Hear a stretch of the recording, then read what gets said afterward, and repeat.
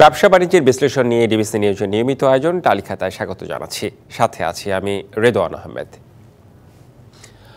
আর্থিক খাতে সন্দেহজনক লেনদেন রিপোর্টিং বেড়ে প্রায় দ্বিগুণ হয়েছে। দুই হাজার বাইশ তেইশ অর্থ বছরে সন্দেহজনক লেনদেন রিপোর্টিং হয়েছে চোদ্দ হাজার একশো ছয়টি।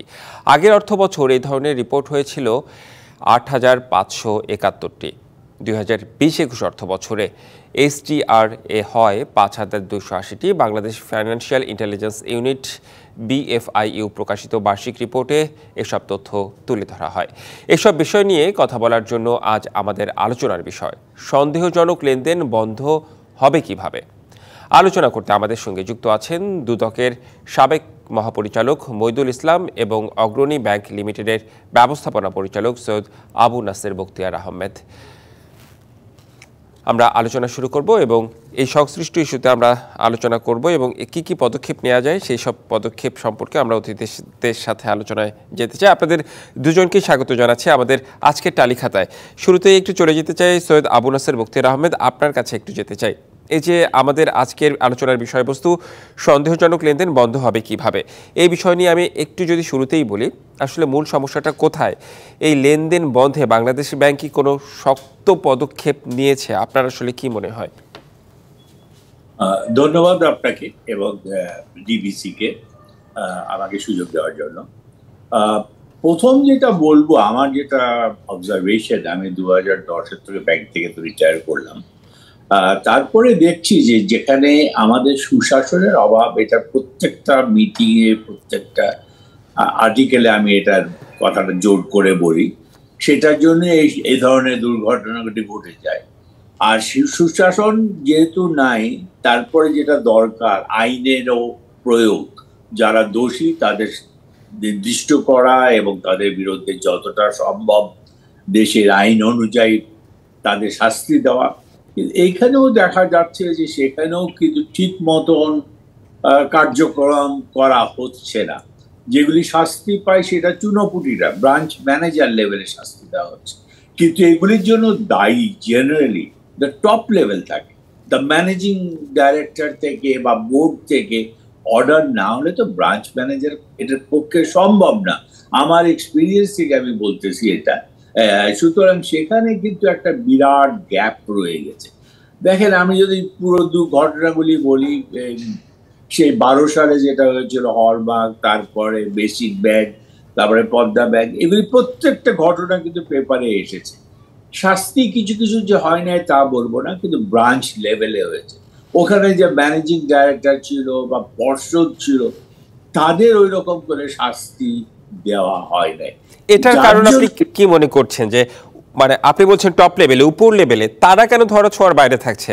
মানে আইনের শাসনের কথা আমরা বললেও তারা ধরা ছোঁয়ার বাইরে থাকছে। আরেকটি আমি বিষয় প্রশ্ন করতে চাই একই সঙ্গে যে ব্যাংক আইনের কোনো সংশোধন এক্ষেত্রে দরকার কিনা খুবই দরকার। এখানে কিন্তু আইনে আছে বলা আছে। বাংলাদেশ ব্যাংকের অথরিটি আছে। দুদকের অথরিটি আছে। এটা যত শীঘ্র সম্ভব এই ধরনের যারা টাকা পাচার করে নিয়ে যাচ্ছে বা এই ধরনের অনিয়ম করে যাচ্ছে, তাদের বিরুদ্ধে আইনানুগ ব্যবস্থা নেওয়ার কথা বলা হয়েছে ক্লিয়ারলি লেখা আছে। কিন্তু ওই যে বললাম যে এই যারা বড় বড় খেলাফি বা বড় বড় যারা দোষী, তাদের ধরার ছড়ার বাইরে রয়েছে বিকজ তাদের হাত অনেক লম্বা। এটা কিন্তু প্রাক্তন অর্থমন্ত্রী নিজের মুখে বলেছে উনি অমিত ভাই আমাদের প্রিয় মানুষ ছিলেন। উনি উনি কিন্তু বলেছে যে ধরা ছোঁয়ার বাইরে, কারণ ওদের হাত এত প্রশস্ত, ওটা হাতটাকে ধরাটা খুব ডিফিকাল্ট তো এইটা কিন্তু বেরিয়ে আসতো এই পরিস্থিতি থেকে যদি বেরিয়ে আসা যায়, তাহলে কিন্তু এটা খুবই ইজি হবে এবং এটা এই ধরনের কার্যক্রম করতে ভবিষ্যতে অনেকই বিপদ, বিপদের চিন্তা করে আর এগোতে পারবে না। না হলে কিন্তু এখন যে অবস্থা আছে, এটাতে কিন্তু এক প্রতিদিনই শুনতেছি কিছু না কিছু পেপারে আসতেছে।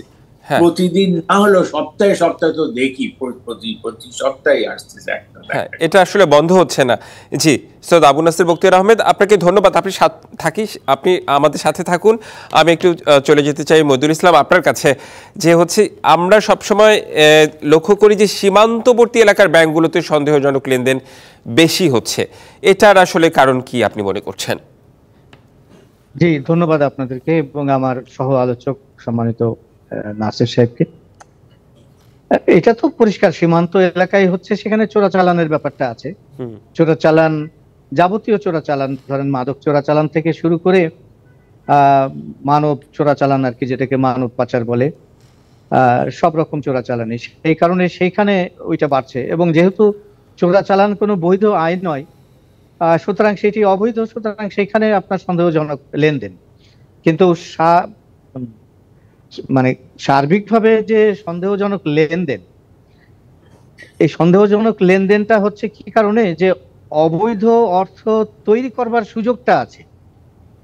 যখন অবৈধ অর্থ তৈরি হচ্ছে, সেই অর্থকে ব্যাংকিং চ্যানেলে ঢুকাতে যখন আসছে, তখনই এই লেনদেনে আপনি এসে কিছুটা হয়তো বা আঁচ পাচ্ছেন।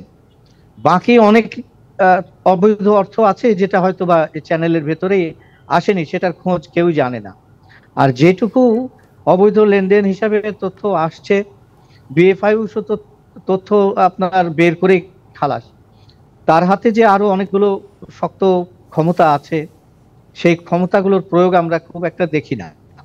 তারা হয় এগুলো দুদকের কাছে অথবা সিআইডির কাছে দেয় তদন্তের জন্যে। তারা এগুলো তদন্ত করে কত কি করে সেটা তো আমরা দেখেছি যে খুব একটা বড় ধরনের কেউ এখানে পড়ে না। আচ্ছা আমার আমার বেশ কিছু প্রশ্ন রয়েছে। আপনি আপনার কথার প্রেক্ষিতে দুজনের কাছে আপনার কাছে একটু আসতে চাই। সেটি হচ্ছে যে আপনি আপনি যেহেতু দুদক সংশ্লিষ্ট ইস্যু নিয়েই কথা বলি আপনার সঙ্গে দুদক কি তদন্ত করতে পারে?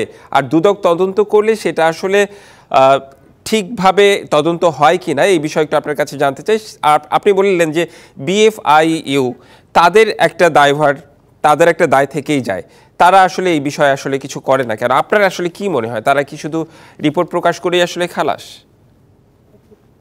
না এই যে যারা সন্দেহজনক লেনদেনের জন্য দায়ী আইনেই আছে তাদের বিরুদ্ধে ব্যবস্থা নেয়ার তাদের বিরুদ্ধে জরিমানা করা এবং দরকার হলে যদি সেটাতেও না হয় তাহলে তাদের বিরুদ্ধে ফৌজদারি মামলাতেও যাওয়া যেতে পারে। হ্যাঁ। এবং যারা এই সন্দেহজনক লেনদেন দিয়ে কাজ করছেন দুদক কিংবা তারা তারাও আপনার এই সমস্ত জায়গাগুলোতে যারা দায়ী, তাদেরকে চিহ্নিত খুব একটা করে না। আর দুদকের ক্ষেত্রে বলছেন যে, সন্দেহজনক লেনদেন মানে হচ্ছে মানি লন্ডারিং এর প্রশ্ন। মানি লন্ডারিং এ দুদকের পূর্ণ এখতিয়ারই আছে। দুদক সব ধরনের মানি লন্ডারিং নিয়েই কাজ করতে পারে, কিন্তু অন্যেরা তাদের নিজ নিজ শিডিউলভুক্ত আপনার মানি লন্ডারিং সেটাই করতে পারে। সিআইডি যেমন তার যেগুলো অপরাধ লব্ধ, যে সমস্ত আপনার পেনাল কোডের অপরাধ আছে, সেইগুলো থেকে যে মানি লন্ডারিং হয়, সেটা তদন্ত করতে পারে। কিন্তু দুদক ঘুষ, দুর্নীতি বাইরেও সবকিছুই মানে দুদকের সবচেয়ে বড় একটা হচ্ছে অবৈধ সম্পদ। অবৈধ সম্পদ, সেটা যে কোনো প্রকারে আয় করলেই অবৈধ সম্পদ। সেটা চুরি করে, ডাকাতি করে, খুন করে চোরা চালান করে, সবগুলোই দুদকের আওতায় চলে আসে। সেই জন্য দুদকের জন্য অসুবিধা নেই। কিন্তু আমাদের সামাজিক অবস্থায় যেটা অসুবিধা দাঁড়িয়েছে, সেটা হচ্ছে যে আমরা এমন একটা সমাজ তৈরি করে ফেলেছি, এমন একটা রাষ্ট্র ব্যবস্থা আমাদের এখন দাঁড়িয়ে গেছে, যে দুর্বৃত্তদেরই অনুকূলে। আপনি কোথায় যাবেন? কেউই ব্যবস্থা নিচ্ছে না। কোর্ট কাছারিতে গেলেও সেখানেও যে খুব একটা সুবিধে হচ্ছে সুবিধে বরং তাদেরই। কেউ যদি তাদের বিরুদ্ধে ধরেন মামলা করেও, সেখানে তারাই খুব একটা প্রশ্রয় বেশি পায়। এবং এবং সেই কারণেই এই সমস্ত বিষয়গুলো আসলে ঠেকানো যাচ্ছে না। আইনের হ্যাঁ। অভাব নেই। যারা কাজ করতে পারছেন না ব্যর্থ হচ্ছেন তখন ব্যর্থতার দায় আইনের ঘাড়ে তুলে দিচ্ছেন যে আইনে বোধহয় এরকম থাকলে হতো। আচ্ছা। আইন বহুবারই সংশোধন হয়েছে। বুঝতে পেরেছি। আমরা আপনাদের দুজনের সঙ্গে আবারও কথা বলতে চাই তবে একটা বিরতিতে আমরা যেতে চাই। বিরতির পর ফিরে এসে আমরা আবারও আলোচনায় যুক্ত হব আপনাদের সাথে। বিরতি নিচ্ছি ব্যবসা বাণিজ্যের বিশ্লেষণ নিয়ে। ডিবিসি নিউজের নিয়মিত আয়োজন তালিখাতায়। সঙ্গেই থাকুন। আবারও স্বাগত জানাচ্ছি ব্যবসা বাণিজ্যের বিশ্লেষণ নিয়ে। ডিবিসি নিউজের নিয়মিত আয়োজন তালিখাতায়। আমাদের আজকের আলোচনার বিষয়, সন্দেহজনক লেনদেন বন্ধ হবে কীভাবে? আমরা আলোচনা ফিরতে চাই। আমাদের সঙ্গে দুজন অতিথি রয়েছে। আমি প্রথমেই আবারও চলে যেতে চাই সৈয়দ আবু নাসের বক্তিয়ার আহমেদ আপনার কাছে। বিষয়টি হচ্ছে যে এই সন্দেহজনক লেনদেন বন্ধে আমরা যদি নগদ লেনদেনের বদলে ডিজিটাল লেনদেনে আসি সেই ক্ষেত্রে অনেক উন্নত বিশ্ব কিন্তু ডিজিটাল লেনদেনের দিকে ধাবিত হচ্ছে, আমাদের দেশেও হচ্ছে কিছু কিছু ক্ষেত্রে। সেই ক্ষেত্রটা আসলে আপনি কীভাবে দেখেন? সেই ক্ষেত্রে কি এই সন্দেহজনক লেনদেন বন্ধ হওয়ার কোনো ডিজিটাল লেনদেন যদি বেড়ে যায়, তাহলে সন্দেহজনক লেনদেন কমে আসবে কিনা? সুন্দর একটা প্রশ্ন রেখেছেন আপনি, কিন্তু ডিজিটাল লেনদেন যে আমার ডিফেক্ট ফ্রি হবে, সেটা তো বলা খুব মুশকিল। আপনারা জানেন পূর্বে আমাদের স্টেট ব্যাংক, বাংলাদেশ ব্যাংক থেকে প্রদত্ত ডিজিটাল লেনদেনের মারফতে টাকা বাইরে চলে গেছে ইলিগাল ট্রানজাকশন হয়ে গেছে। কিন্তু এই ধরনের এখন যদি সিকিউর ট্রানজাকশন হয় that is a different issue কিন্তু সেখানে কিন্তু এই লুপোজগুলি রয়ে যাচ্ছে। এবং লুপোজগুলি থাকার জন্য ওইটা যে আমি রিস্ক ফ্রি বলব, ওখানে যে কমে যাবে, এটা বলা খুব ডিফিকাল্ট এখানে কিছু কিছু জিনিস আমি যেটা মনে করি, দেখেন একটা ছোট্ট ঘটনা বললাম। ঘটনা হলো গুলশান বাড়িধারা এইসব জায়গাতে, বনানি, এইসব জায়গাতে প্রপার্টি মানে আমাদের রেজিস্টার্ড করা আছে পঞ্চাশ হাজার টাকা পার কাটা কিন্তু আপনি চিন্তা করে দেখেন, এটা জেনারেল পাবলিকও জানে, পঞ্চাশ লাখ টাকা কাঠা কিন্তু এখানে না যখন বিক্রি করছে কেউ কাঠা। কয়েক কোটি টাকা বিক্রি করতেছে সেটা। তো পঞ্চাশ লক্ষ টাকা করে আমার রেকর্ডে থাকছে, বাংলা ট্যাক্স দিচ্ছি, কিন্তু বাকি টাকাটা আইদার ক্যাশের ট্রানজাকশন হচ্ছে অথবা সেটাকে ইরেগুলার মানি আমি বলব। ইলিগাল বলব না ইরেগুলার মানি এই টাকাটা আসতেছে, যে বিক্রি করতেছে তার কাছে। তো এইটা নিয়ে, এই ধরনের ঝামেলাগুলি আমার মনে হয় প্রত্যেক যেই সরকার, সরকারের লক্ষ্য রাখা উচিত, সরকার সেদিকে দেখে যেটা রাইট প্রাইস সেই প্রাইসে যাতে জমি জমা বিক্রি হয়, সেটার উপরে যাতে ট্যাক্স আদায় হয়, সেদিকে যদি লক্ষ্য রাখা যায় তার এই দিক থেকে এই এক্সেস মানিটা বেঁচে যাবে। আরেকটা জিনিস এক্সেস মানি যেটা অবৈধভাবে পাওয়া টাকা বা বৈধভাবে পাওয়া টাকা, সেখানে কিন্তু ইনভেস্টমেন্ট অপরচুনিটিসও বার করে দিতে হবে আমাদের সামনে। সেটাও কি কি ইনভেস্টমেন্ট আছে? আমরা বলি ক্যাপিটাল মার্কেট কিন্তু ক্যাপিটাল মার্কেটেও কিন্তু দুর্ঘটনা ঘটেছে। ছিয়ানব্বই সালে দু হাজার আট সালে, এই যে ঘটনাগুলি ঘটেছে, এখানে কিন্তু যারা রিচ তারা কিন্তু লাভবান হয়েছে। কিন্তু যারা মধ্যবিত্ত পরিবারে যারা সাধারণ পাবলিক তারা কিন্তু অনেক অনেক টাকা লস করেছে। সুতরাং সেদিকেও জি আমাদের সময় যেহেতু খুবই কম আর কি কি বিষয় এখানে আসতে পারে? একটু সংক্ষেপে যদি আপনি বলতেন। বিষয় হলো যে প্রথম বলেছি আইনের মারপ্যাচ যাতে থেকে ফাঁক না থাকে সেদিকে লক্ষ্য রাখতে হবে। যারা দোষী তাকে দোষ সাব্যস্ত করে আইনের প্রয়োগ তার বিরুদ্ধে করতে হবে। যাতে সে শাস্তিপ্রাপ্ত হতে পারে। এগুলি আমি মেনলি বলব। এখানে কিন্তু অথরিটি দেওয়া আছে, কিন্তু অথরিটি এক্সিকিউশন হচ্ছে না। এইটার উপরে জোর দিতে হবে। জি জি, আপনার কথা আমরা শুনলাম, আপনাকে ধন্যবাদ। এবার চলে যেতে চাই মহিদুল ইসলাম আপনার কাছে। আপনি বলছিলেন যে আপনারা আসলে চেষ্টার কোনো কমতি থাকে না আপনাদের, কিন্তু তারপরে সামগ্রিক অবস্থা বিবেচনায় আপনারা পারেন না। সরকারও কিন্তু অনেক সময় সদিচ্ছা থাকলে কেন পেরে উঠতে পারছেন? আপনার আসলে কি মনে হয়? এই সামগ্রিক অবস্থারই কারণ? না, সরকারের ব্যাপারটা আর সরকারের মানে অন্যান্য সংস্থা, যেমন ধরেন দুদক একটি সরকারেরই বা রাষ্ট্রের সংস্থা স্বাধীন সংস্থা, সরকারের ক্ষমতা এবং দুদকের ক্ষমতাটা একটু আলাদা। সরকার হলো সার্বভৌম। স্বাধীন এবং সার্বভৌমের মধ্যে আপনাকে পার্থক্য বুঝতে হবে। সরকার হলো স্বাধীন, সার্বভৌম দেশের সরকার সরকার নিজে সার্বভৌম। দুদক স্বাধীন হতে পারে, নিরপেক্ষ হতে পারেন সার্বভৌম কোনো মতেই নয়। সেজন্য দুদককে সরকারের দিকে তাকিয়ে থাকতে হয়। দেশের আবহাওয়ার দিকে তাকিয়ে থাকতে হয়। অর্থাৎ আপনি বিভিন্ন সংস্থাগুলোর উপরে নজরদারির কথা বলছেন। উচিত। জি বিভিন্ন সংস্থাগুলোর উপরে নজরদারির কথা বলছেন যে যারা সংশ্লিষ্ট সব বিষয়ে। জি হ্যাঁ। বিভিন্ন সংস্থার উপরে নজরদারি সরকারের করার দরকার। সরকার সেটি পারে না কেন? সরকারের সাথে কোনো লোকজন আছে কিনা? ওই ধরনের যারা এই সমস্ত কাজের সাথে জড়িত সেইগুলো দেখা দরকার। এবং তাহলেই আপনার এই দুদক বলেন কিংবা বিএফআইও বলেন তারা সুষ্ঠুভাবে কাজ করতে পারবে। আমি আর একটু জিনিস একটু ক্লিয়ার করি।